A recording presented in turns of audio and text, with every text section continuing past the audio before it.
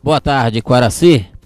Começa no seu rádio, a partir deste horário, programa Revista da Cidade. Hoje, portanto, 14 de outubro, é uma satisfação enorme poder estar voltando a falar com você, entrar na sua casa e participar contigo neste momento oportuno em que você me dá a sua atenção. Aqui é Carlos Maia, aí você que é muito mais importante.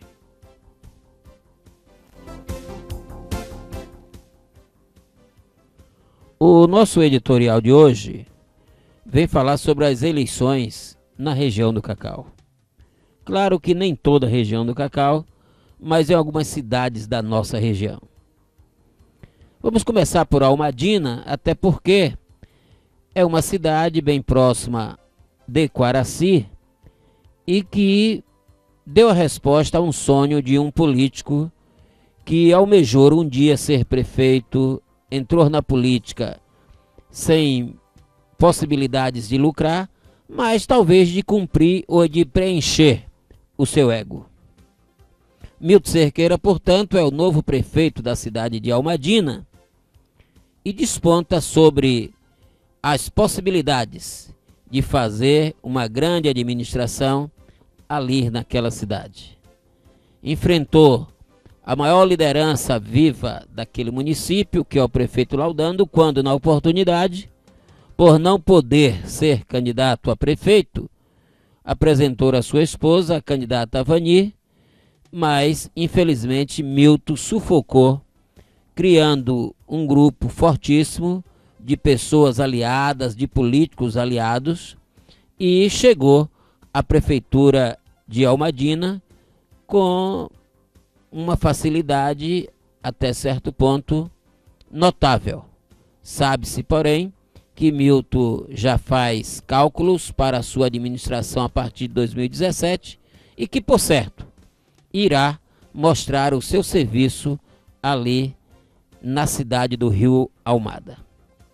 Itapitanga foi um fato discutível por muitos, até porque enfrentou nesta eleição um grupo de muitos candidatos, cinco candidatos, seis candidatos, e veio crescendo a possibilidade do bigodão, como chamam o candidato Luiz Carlos, ganhar as eleições, mas sabíamos inclusive que a estrutura política do ex-prefeito Dernival estava mantida, mesmo mesmo sabendo através de pesquisas que o Bigodão crescia, mas Dernival tinha a facilidade pelo brilhante serviço prestado à comunidade de Itapetanga e com isso consegue vir prefeito novamente para 2017 com a margem não muito grande, mas foi mais de 200 votos no eleitorado pequeno.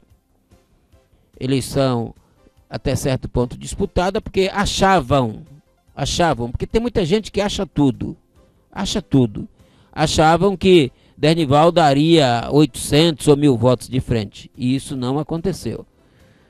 Na cidade de Ibicaraí, a situação foi interessante.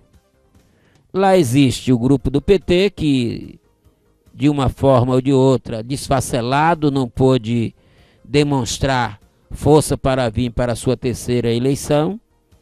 E o prefeito Lenildo, por sua vez, sabendo que perderia as eleições para a ex-prefeita Mona Lisa, o que é que fez? No último momento, faltando poucos minutos para terminar a partida, ele convoca o seu time e o seu time vai e fortalece, fortalece o Lula e o Lula chega à prefeitura de Ibicaraí, onde tomará posse a partir de 1 de janeiro de 2017. Em Quaraci, três candidatos, e aqui eu faço questão de dizer do político Nino Torquato, que manteve a sua estrutura, mesmo que pequena, mas manteve-se candidato enfrentando Jadson e enfrentando Cadu.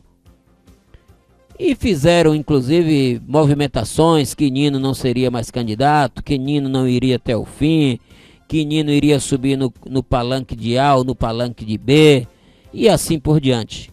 Mas de parabéns, Nino, pela sua segurança, pela sua altivez, como ele mesmo disse, que era a vontade dele e ele manteve a sua vontade de ser candidato e foi desgastado até sorrateiramente por alguns de que Nino não era mais candidato.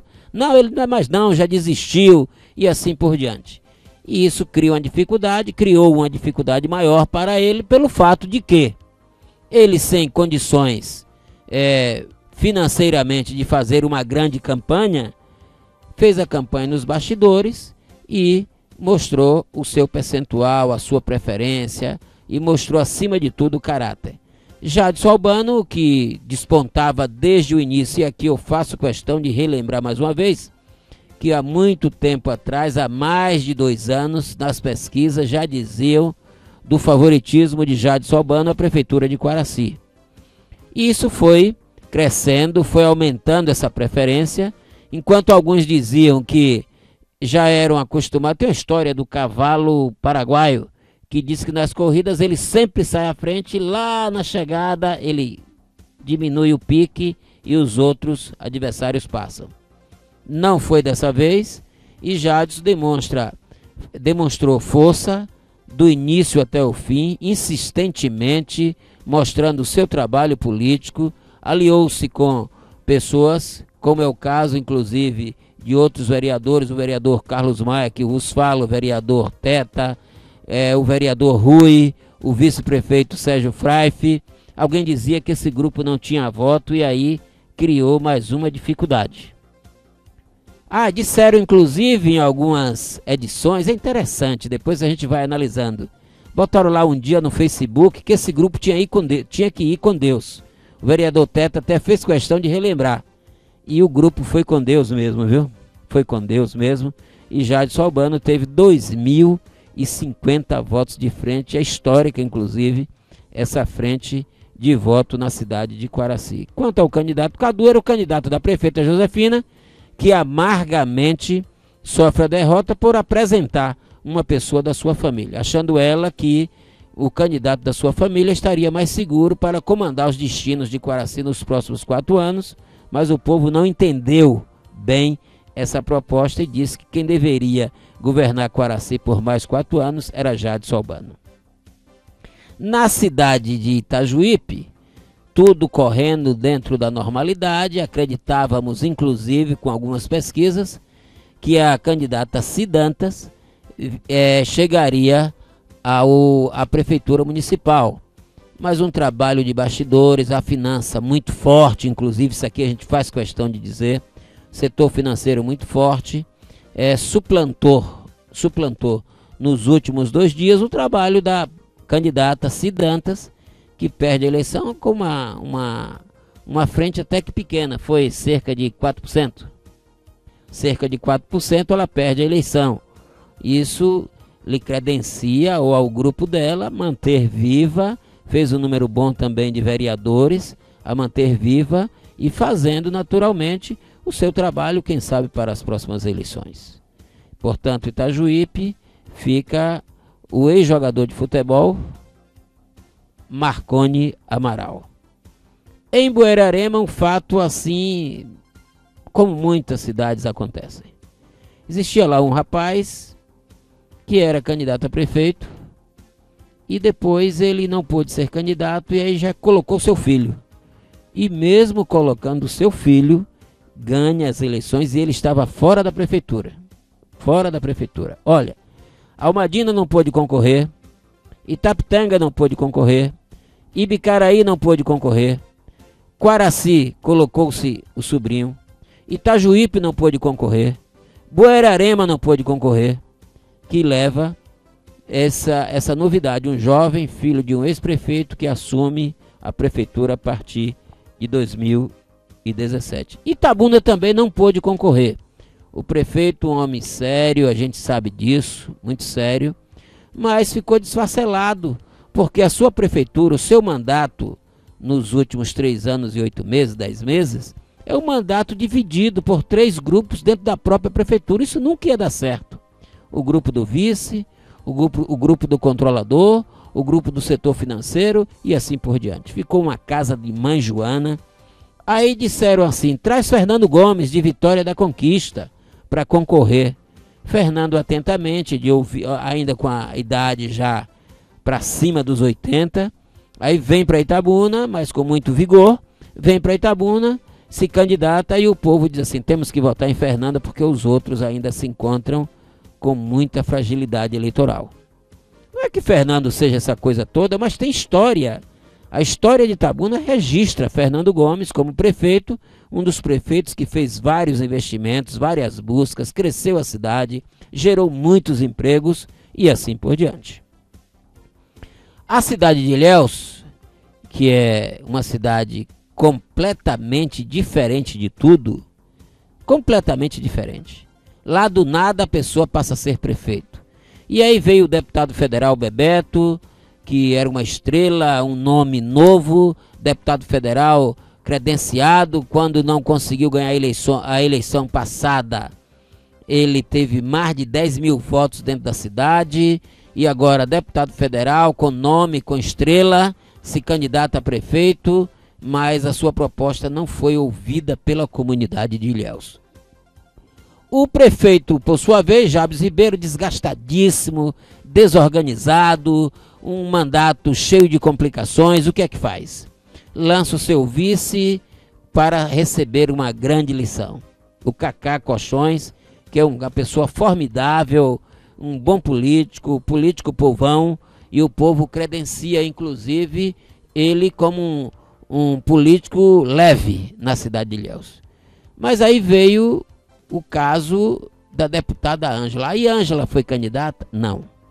Ângela não foi candidata, mas Ângela tem uma história política na cidade de Ilhéus, como vice-prefeita, como deputada estadual três vezes, e aí lança o seu filho para prefeito da cidade de Ilhéus. É um médico, e esse médico, por sua vez, foi comendo pelas beiradas como mineiro, e aí vai, vai, vai, vai, vai, e chega ao palácio é, da prefeitura de Ilhéus, e a partir de janeiro está comandando. Sabemos inclusive que a, prefe... a deputada Ângela ela sai grande com chances reais inclusive de representar a região sul da Bahia como deputado federal nas próximas eleições. Isso porque ela ganhou as eleições de Ilhéus, ela ganhou as eleições em Una, ela ganhou as eleições em Canavieiras e mais dois ou três municípios pequenos. Somando Canavieiras, Una e, Ilhéus, significa que Ângela já está com mais da metade do seu eleitorado, garantindo, portanto, uma futura vaga na Câmara Federal. Vai depender, é claro, do prefeito que assume em janeiro de 2017. Sem contar outras expectativas, mas existe umas coisas que o martelo já estava batido há muito tempo como é o caso de Salvador, em que o prefeito ACM Neto despontou durante os quatro anos como o maior líder político da atualidade. Olha que eu estive a semana passada em Salvador e o governo do estado, o governador Rui Costa, tem feito uma concorrência estupenda. Que, que coisa! Eu fiquei olhando que, que gente sem cabeça. Que gente sem cabeça ele está trabalhando em Salvador para competir com a Semineto. E aí tomou-lhe uma tacada daquelas. Daquelas.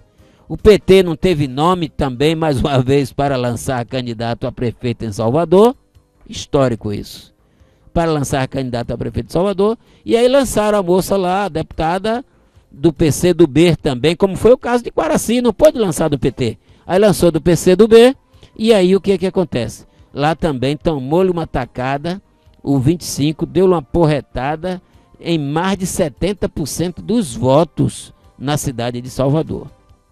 A gente fica na expectativa de ver algumas tradições na política, como é o caso é, de Eunápolis. O prefeito de Eunápolis foi à reeleição, ganhou as eleições, a sua esposa foi à reeleição em Porto Seguro, ganhou as eleições. O seu filho foi candidato em tabela, tomou a prefeitura de Junho da Pé, tranquilo.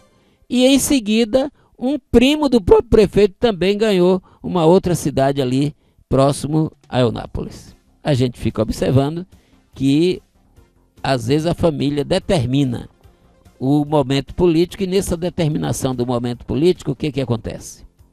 Pega a veia e vai embora. Eu relembro muito bem o caso da família Pinto. Quando o Dorico Pinto estava deputado federal e cismou de colocar a família nesse cenário político e chegou a ganhar, numa certa época, cinco prefeituras ali, indo de Belmonte até Teixeira de Freitas. No mais, a gente tem que dizer que nós desejamos saúde, sorte, paz, tranquilidade aos que vão entrar nessa nova etapa de vida que a partir de janeiro de 2017. Agora, aos que ficam, a gente deixa aqui também uma palavra. É preciso aprender a cada dia que o poder é passageiro e que o poder pertence a Deus e ao povo. Boa tarde, Quaraci.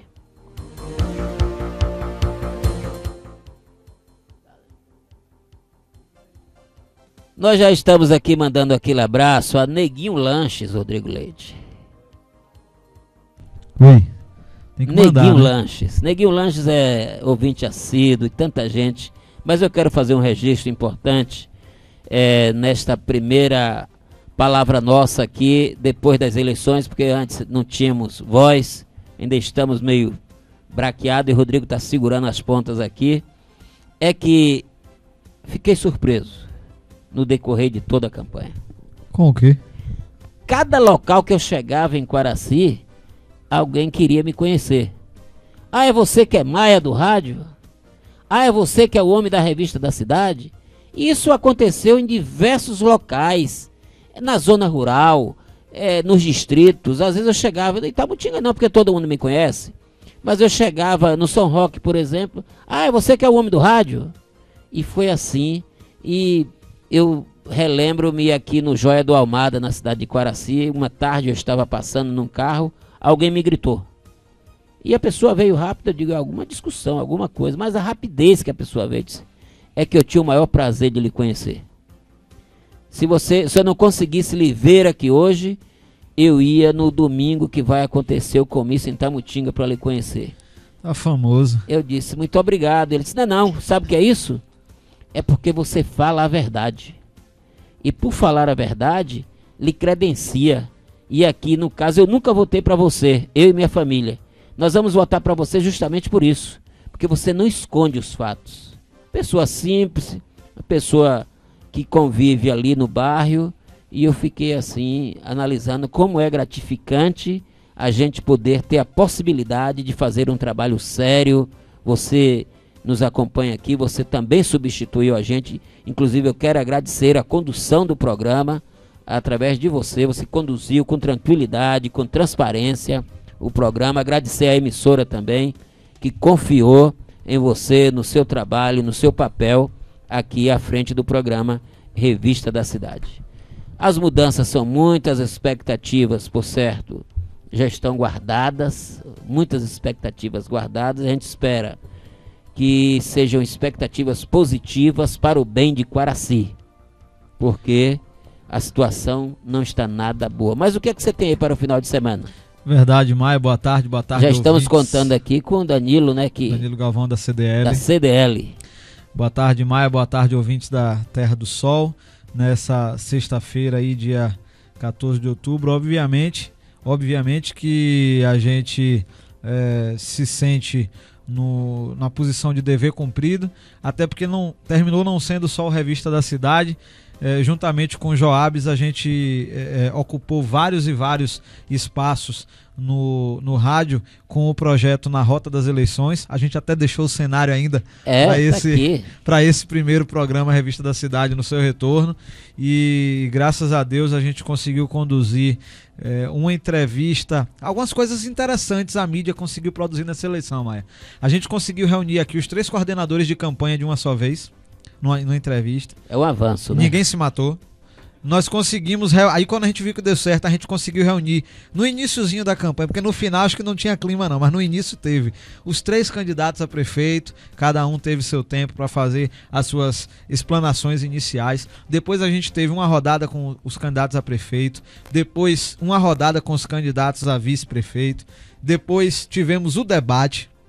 O debate foi fantástico, foi fundamental. Eu acho que saiu tudo como a gente esperava e a gente é, sai na frente, obviamente. O Quaraci está na frente nesse sentido. O pessoal de fora elogiando bastante. Depois nós voltamos a fazer uma nova rodada com os candidatos a prefeito, que foi importante. Na, na reta final, na semana final, foi uma inovação dessa eleição. A gente conseguiu fazer.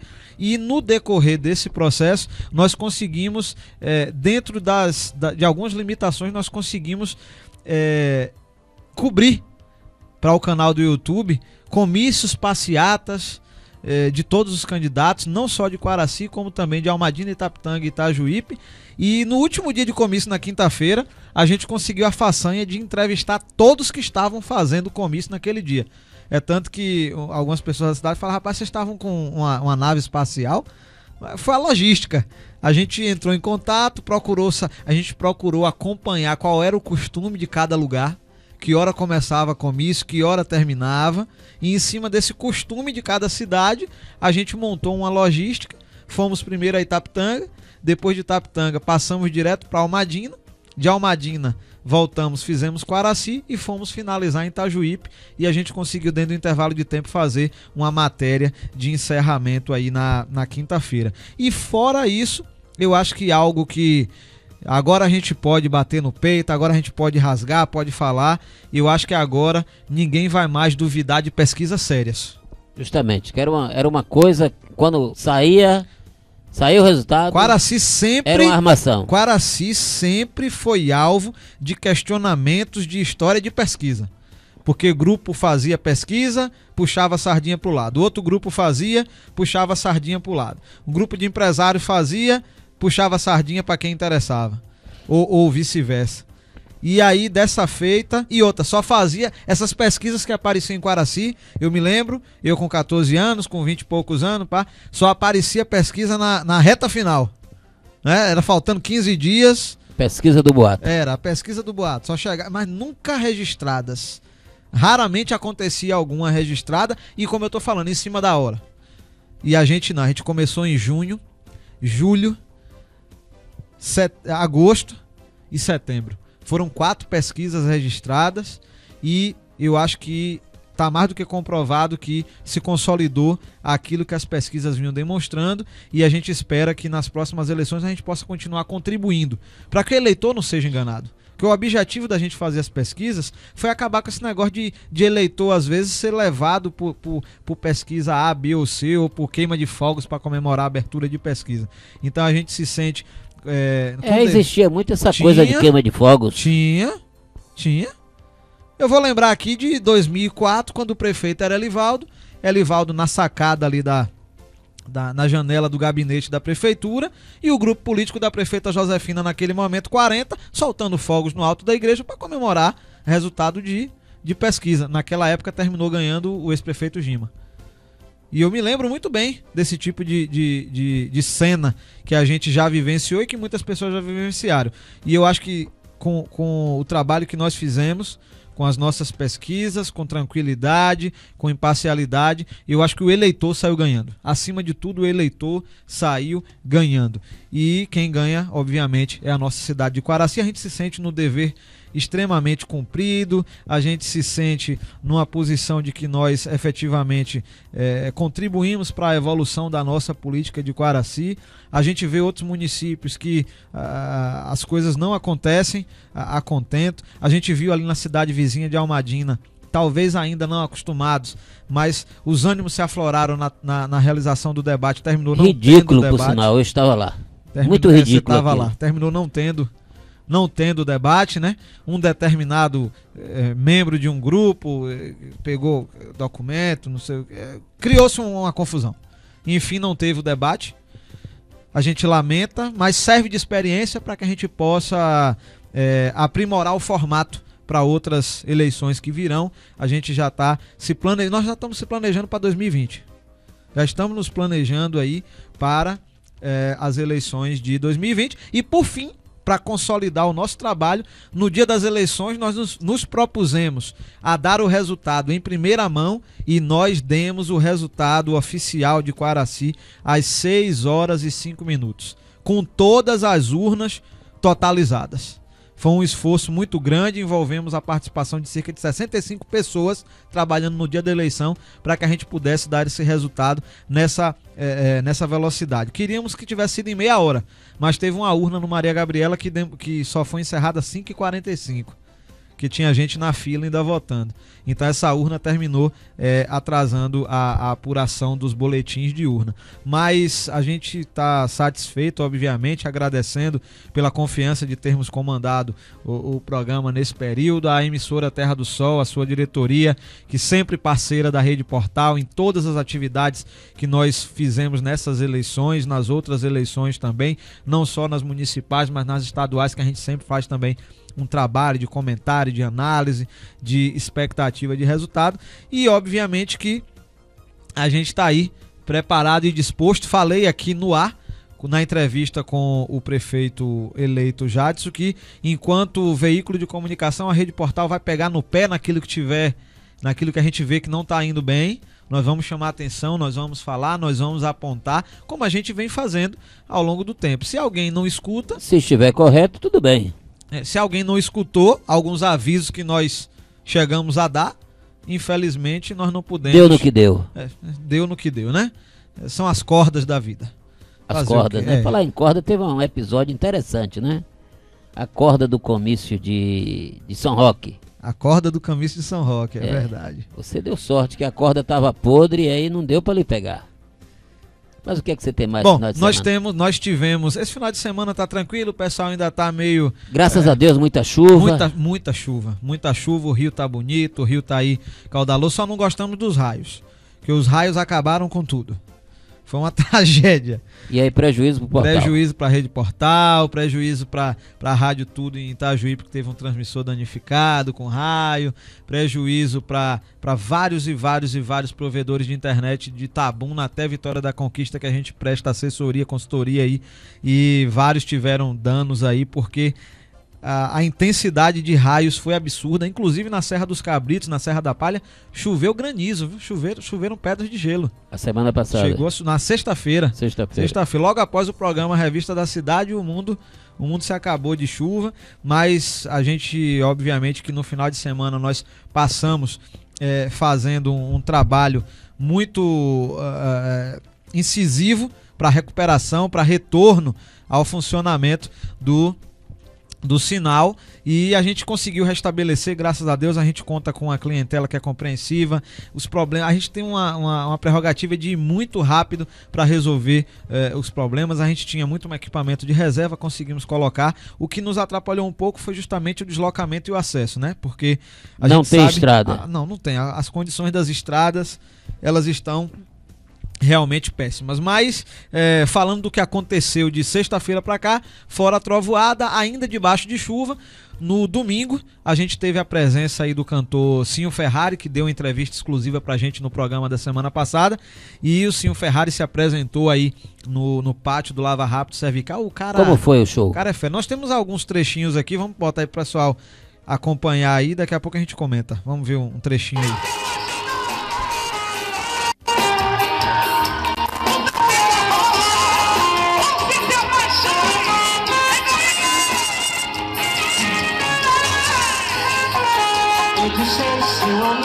Ser nada, eu prefiro ser. Onde é que eu vou guardar todo esse amor que tenho aqui? Me fala, como é que eu vou pegar na sua mão e não poder te levar pra casa? Fica tão perto assim da sua boca e não poder beijar. Se um dia você me chamar a conversar debaixo de um árvore e me contar que se apaixonou por alguém. Rodrigo, você acha que cara como esse Sil Ferrari aí chegasse Se ele chegasse à Globo, seria o mesmo fenômeno? Rapaz, eu tenho uma, uma um posicionamento sobre essa questão de Globo. Eu acho que é meio complicado ele chegar numa emissora grande por causa do sobrenome Ferrari, que é uma marca registrada. Não é o nome de batismo dele. Isso pode gerar um conflito a nível de, de eixo Rio-São Paulo ali, onde há uma maior preocupação com essa questão de marca, essa coisa toda. Eu acho uma preocupação. Agora, eu acho que aonde ele for, ele vai continuar sendo o mesmo cara. De bater papo, de, É de conversar com a galera. É, ele não sobe a cabeça o, o sucesso dele, não. Sobe não. Ele conversa mesmo com a galera. Pra você ter ideia, pra ele entrar aqui em Quaraci, ele botou um, um blusão de capuz e entrou só ele o motorista, assim, numa tamanha tranquila. Ninguém nem percebeu que era ele que tava passando no meio do povo. Porque pra entrar ali só tem o portão de entrada, né? Só tem um portão. E aí ele, ele passou pelo meio do povo e foi pro camarim, e o povo nem percebeu. Mas quando terminou, ele recebeu o pessoal, tirou foto com o pessoal lá. É um cara super tranquilo, a gente teve com Ele é carismático. É, com certeza, com certeza. Ele que é de Itambé, Ele é também? de Itambé. Tá completando agora 15 anos de, de carreira. Entre as bandas que ele se apresentou, ele viveu 8 anos em Iguaí. Lá ele começou a carreira com a banda Chamego da Bahia. Ah, Chamego da Chamego Bahia. da Bahia. Depois ele foi pro Top Love. Top Love teve aqui. Aí ele teve uma passagem no Lordão. Quando eu trabalhava no Lordão, ele. O primeiro show que ele fez no Lordão foi em Tapetinga, no Forró da Vaca Louca. Eu tava trabalhando nessa época com a banda Lordão. E ele se apresentou lá, passou um tempinho na banda Lordão, naquela fase sem, sem Júnior, né? Sem o filho de Cocó. E aí depois ele voltou ao Top Love e aí partiu pra carreira solo. E, e agora ele tá literalmente mesmo na carreira solo, onde ele é sócio da produtora dele mesmo agora, a Extravasa Produções. Outra música que ele que ele tá com sucesso, olha, olha esse trechinho aí dessa música. Você que tá em casa. É uma rocha romântico, né? E o povo, Essa banda aí acompanha ele. a banda acompanha ele.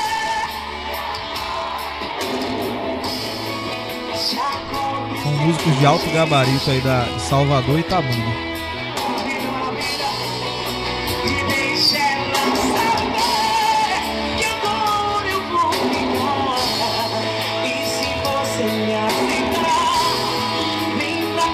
Voltar. Pode ver nas imagens, quem tá assistindo pelo YouTube aí, que tá chovendo, né? E o povo na reta tava chovendo e o povo não arredou o pé aí do, da frente do palco.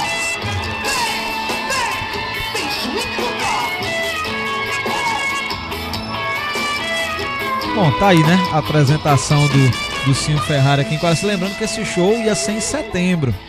Aí Mas, teve, uma polêmica mas teve, teve uma polêmica porque é, eu, como um dos produtores aí do evento, eu solicitei a- ao candidato, o então candidato Nino, se não poderia fazer uma troca de data com o, o, o movimento do candidato Jadson. Quem solicitou, é até bom que agora a gente pode falar essas coisas, quem solicitou fui eu, para não prejudicar o evento.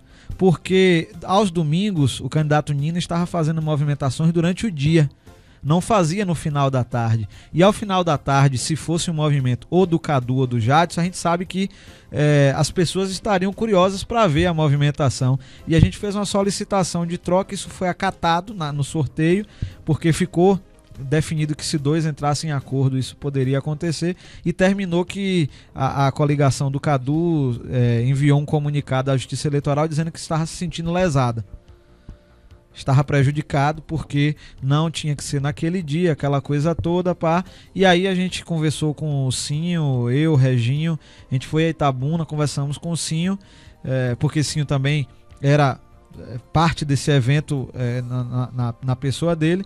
E aí eles falaram, não, pra gente não criar confusão com nenhum grupo político, a gente tira o evento da, do período eleitoral e transfere o evento para para depois das eleições e assim foi. No dia 9, logo depois das eleições, o evento aconteceu. Agora no dia 9 foi todas as cores. Ah, aí não teve cor, já foi todo mundo de branco, aí não teve mais negócio de cor, essa coisa, porque na época da eleição fica um negócio, o clima fica tenso, viu? Fica tenso, né? É, é, amizades que se perdem, é um negócio meio complicado, mas é... E lá nesse dia 9, todo mundo já bebendo, ah, curtindo. todo mundo curtindo. Baleado mundo... já tinha Quem, já, quem já tava, tava baleado, tava baleado, quem tava vitorioso, tava vitorioso.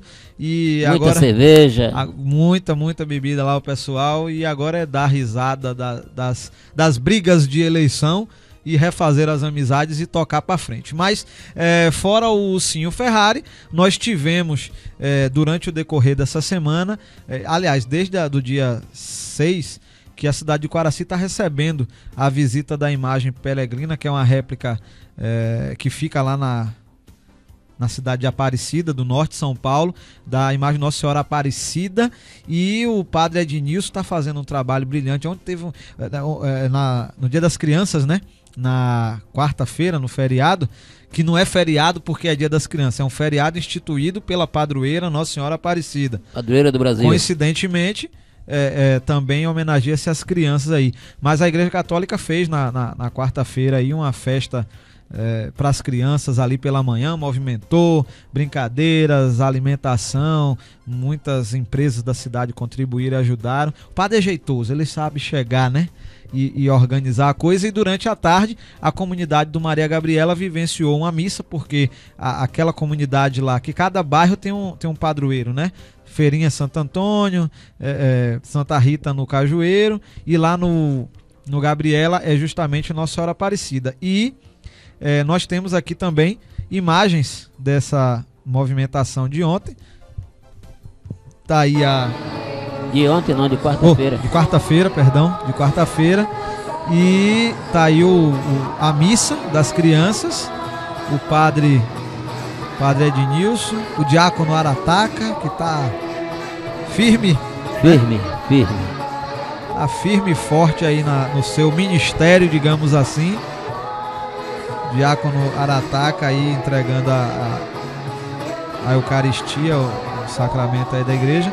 E essa foi a missa da, da manhã, aonde as mães, as avós puderam levar aí as suas, as suas crianças para participar.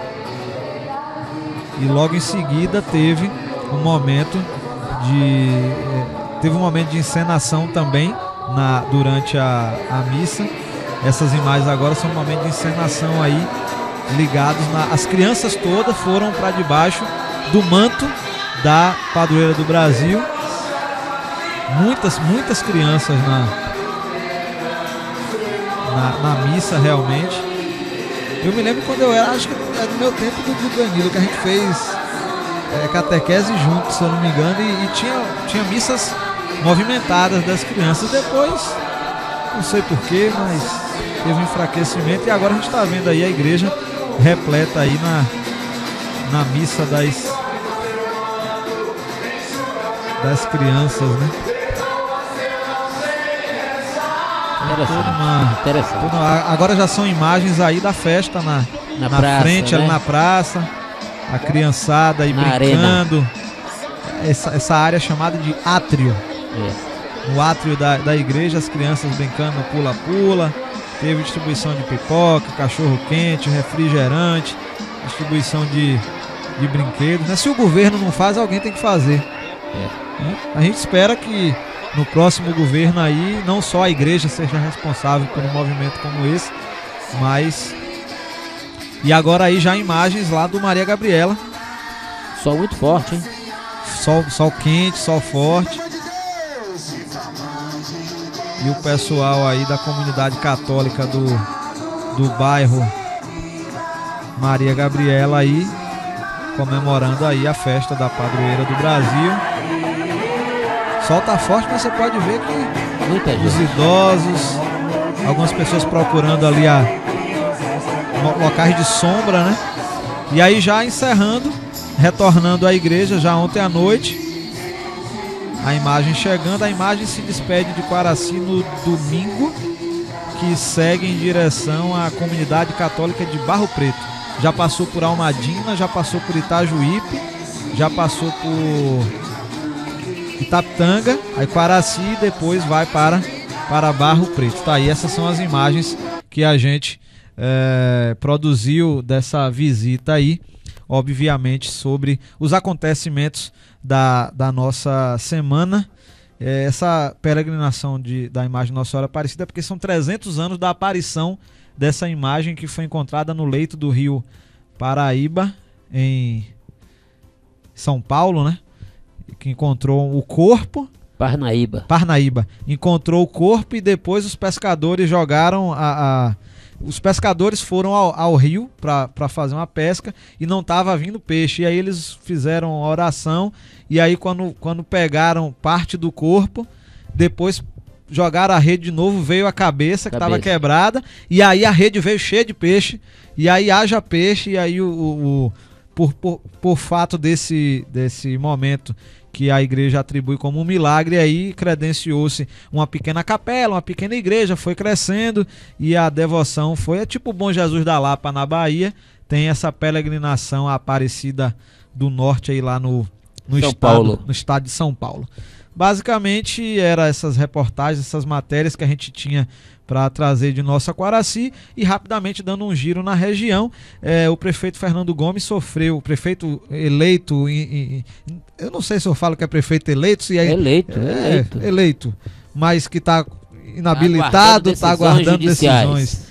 Sofreu um acidente automobilístico na cidade de Riacho de Santana, próximo a Guanambi. Ele chocou aí o carro dele, chocou-se com a moto conduzida por um rapaz chamado João de Jesus Xavier, que foi levado para uma equipe do SAMU para Guanambi aí para passar por uma cirurgia, mas Fernando Gomes não sofreu nada, prestou esclarecimentos e seguiu viagem. Ele estava se dirigindo aí para Brumado. Nós temos também aqui uma informação que o prefeito Assemi Neto recebeu deputados da base dele e destacou o fortalecimento das oposições, foi elogiado aí por muitos e foi dito lá por um dos deputados o seguinte, que Assemi Neto vai pavimentar um futuro de excelência para o estado da Bahia. É, nós temos também aqui uma notícia sobre a nossa região aqui, deixa eu ver no blog no blog Pimenta aqui nós tivemos uma movimentação. Os bandidos usaram o WhatsApp para ordenar a morte de um rival em Tabu, não é brincadeira. O, o, o meio de comunicação agora para ordenar mata fulano. A Foi... missão é brincadeira. Foi lá e pimba. Foi lá e e Pimba. E falando, obviamente, que de criminalidade, é, em Quaraci aconteceria ontem, quinta-feira, dia 13, o júri aí do Emerson de Jesus Santos, acusado de estrupar e matar a prima de 6 anos em Almadim, naquela menina que foi encontrada ali, ali próximo. Ponte Nova. Isso, a Ponte Nova ali em 2013. Rapaz, o tempo voa, viu? Três anos já desse, desse crime. E Andressa. Crime bárbaro, por sinal. Exatamente, Andressa dos Santos. O júri seria ontem, quinta-feira, mas em decorrência de um problema de saúde que está sendo enfrentado pelo promotor de justiça de Quaraci, doutor Yuri, é, que está aí em tratamento. O júri foi remarcado pela doutora Karina para o próximo mês, né? Próximo mês vai acontecer aí esse júri, então não foi ainda julgado. Basicamente era o que a gente tinha aí. Nós temos ainda pouco mais de 15 minutos de programa. Nós vamos conversar com Danilo Galvão, ele que é presidente da CDL aqui na cidade de Quaraci, mas antes, porém, a gente manda um recado para a prefeita de Quaraci. Prefeita, observe como se encontra verdadeiramente o leito do Rio Almada no perímetro urbano. Resta, porém, só uma força de vontade da senhora de colocar algumas pessoas para desatracar a braquiária, que é um capim, junto a essa, esses plânctons. A senhora sabe do que eu estou falando. Que são as chamadas baronesas. Porque se essa chuva aumentar, a tendência de termos um prejuízo é notório. É muito peso. E se essa baronesa descer com a quantidade maior de água, nós vamos perder a passarela Dr. Juvencio Perilima. Eu estou lhe avisando, prefeita. Eu estou lhe avisando. Coloque alguém que trabalhe com a senhora aí, que possa, possa possivelmente ouvir a sua voz. Porque em um tempo passado essa passarela caiu justamente por isso. Então faça isso o mais breve possível. Coloque, se possível, hoje à tarde, alguém, porque a tendência é de vir muita água. E nós estamos, inclusive, precisando de muita água mesmo. Mas se essa água aumentar o nível com uma certa brevidade, a tendência é que essa passarela, que ela estremece até com as pessoas passando por ela, não suporte, vá desabar e será um grande prejuízo para Quaraci. Espero que a senhora entenda. Eu espero que a senhora tem um grupo seu que ouve o programa. Se a senhora não está ouvindo, faça isso para evitar um prejuízo. A gente não quer que Quaraci tome mais prejuízo. Refiro-me também aos salários do pessoal da saúde. Fui procurado hoje pela manhã de que existe um grupo de pessoas que trabalham na Secretaria de Saúde que estão sem receber o seu salário. Então a senhora pense, repense a questão de pagar o salário, tendo em vista que foi, durante todo o seu período à frente da prefeitura, um discurso de que a senhora paga salário. E, inclusive, alguns funcionários tiveram informação de que talvez no dia 18 teria dinheiro para pagar. Isso não é resposta que se dá aos servidores. Nós não temos culpa da senhora trabalhar com um número enorme de contratados pensando na política. Pensando na política. A senhora contratou muita gente pensando na política, infelizmente não deu certo. E eu avisei, eu avisei que essas pessoas contratadas não iriam resolver a crise eleitoral que o seu grupo político estava passando. Espero que a senhora entenda. Espero que o servidor de Quaraci que tem contas a pagar ao comerciante, que tem o seu cartão de crédito, que tem datas também para pagar, que a senhora entenda e priorize o pagamento dessas pessoas. Rodrigo, nós vamos conversar Pede com... pra ela pagar a gente também, eu e Daniel. Ah, pagar ao portal? É, E a Daniel. é do Posto Apolo. Vamos ver, né? Quem sabe lá. Não foi dito pelos assessores, inclusive pelo candidato Cadu aqui, que o mandato termina dia 31 de dezembro e que ela iria quitar esses débitos e a gente, obviamente, que aguarda. Eu sei de pessoas aqui que a prefeitura está devendo cerca de 60 mil reais. Comerciantes. Comerciantes. Ainda bem que não sou eu. Sim, você ainda é peixe pequeno. Mas, Danilo Galvão, boa tarde. Boa tarde, Maia. Boa tarde. Boa tarde, Maia. Boa tarde, Rodrigo. Boa tarde a todos os ouvintes da revista da cidade. É uma honra estar aqui novamente. Estive aqui na primeira vez com o Rodrigo. Você estava no seu momento de licença aqui do programa. Estava fora, né? Estava fora. E hoje estamos aqui para. Já podemos falar, Rodrigo? Já, já podemos falar. É, vamos, viemos aqui para convidar a todos os empresários, comerciantes e empresários de Coaraci a na próxima quarta-feira ir à Câmara de Vereadores de, Coaraci às 19 horas, onde vamos divulgar a programação deste que vai ser, se tudo der certo, de acordo com nossa programa, nosso, nosso planejamento, o Natal mais revolucionário de Coaraci. Essa palavra revolucionária é um pouco pesada, né? De acordo com, com a política ultimamente.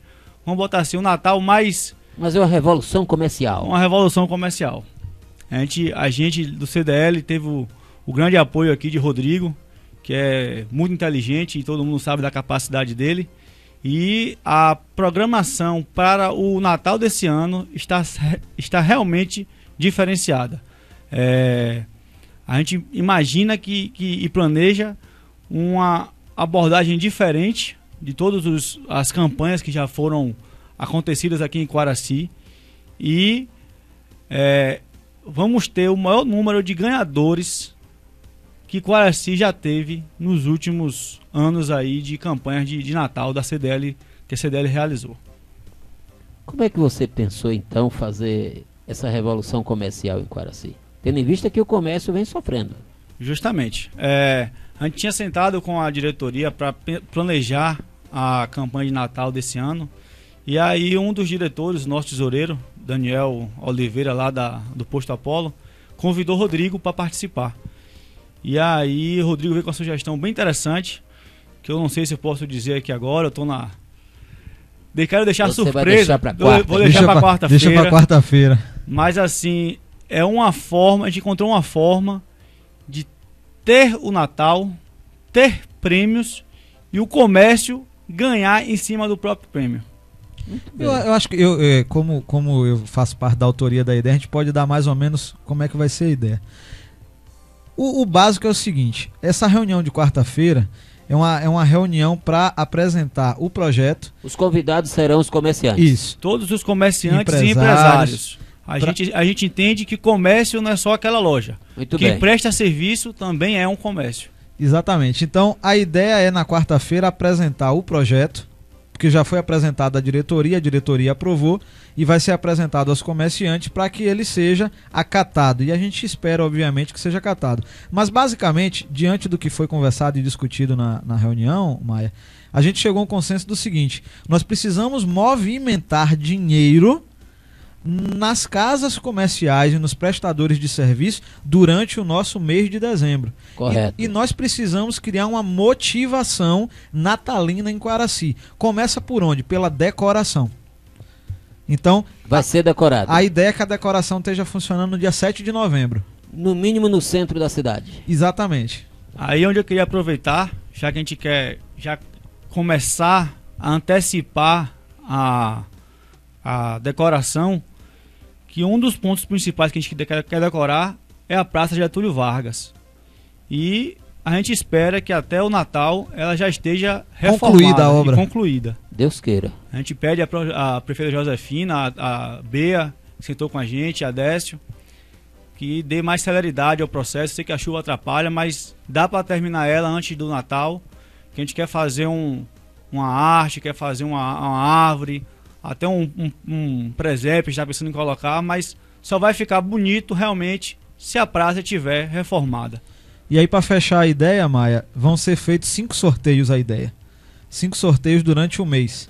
A cada fim de semana aconte- dezembro. de dezembro, acontecendo um sorteio. E como vão ser sorteados é, a questão de vale compras principalmente, Ah, Você, você, já quando tá você- falando demais, você já tá Quando falando você, demais. fala, quando você fala um sorteio, um momento de sorteio, mas não um vai ser momento, um sorteio. momento de momento de sorteio. E aí alguns vale compras desses que podem ser sorteados, eles vão ser consumidos no próprio comércio. Isso vai gerar o dinheiro no mês de dezembro, que é o que a CDL está querendo.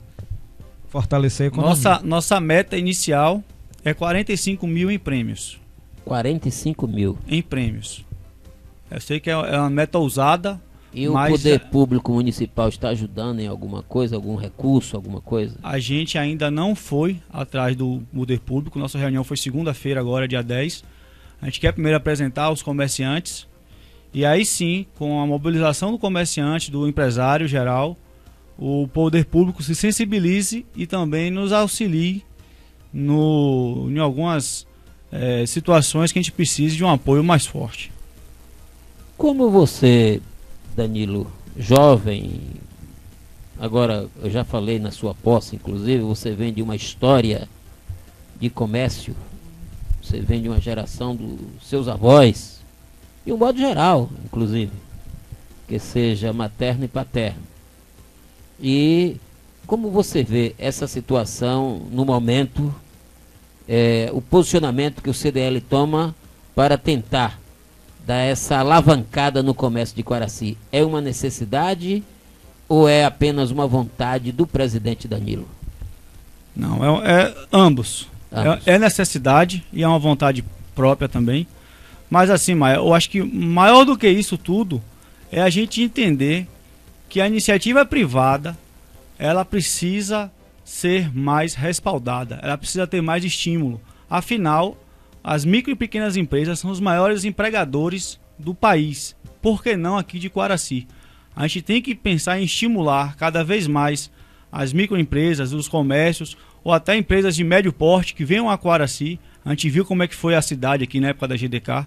Ela passou um ano, um ano e meio. Imagine se, ela, se fosse uma coisa permanente, como seria a, a, a movimentação de dinheiro na cidade. A gente vê aí no governo federal a, a polêmica PEC 241. Eu ainda, eu ainda não li ela para entender realmente. Totalmente, né? É. Mas assim, tem muita gente criticando e muita gente a favor. pelo que eu percebi, eles querem limitar o gasto do governo. O governo cresceu demais, muitos cargos, muitos gastos desnecessários onde não deveriam existir. Muito apadrinhamento. Muita, muito apadrinhamento e aí o dinheiro deixou de ser utilizado Gastando em mais do que infraestrutura, arrecada. em infraestrutura e, e obras de, de, de- de logística, que é uma- um grande diferencial competitivo, para poder colocar X, Y, Z de partidos para poder manter a, a máquina trabalhando, entendeu? Voltando a Quaraci. Voltando agora sim. Você tem hoje cadastrado no órgão que você preside, o CDL, quantos comerciantes ou empresas ou empresários? Hoje, ideia? hoje aqui, aqui de Quaraci nós temos 30 associados. Já 30 associados. associados. Já, É che- pouco. já chegamos a ter mais de 100 associados, mas a CDL passou por um momento aí de.